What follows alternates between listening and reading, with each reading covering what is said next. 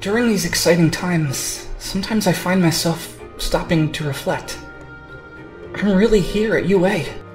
I never imagined I'd have All Might watching out for me. Or that the day would come when Kacchan and I could have a normal-ish conversation.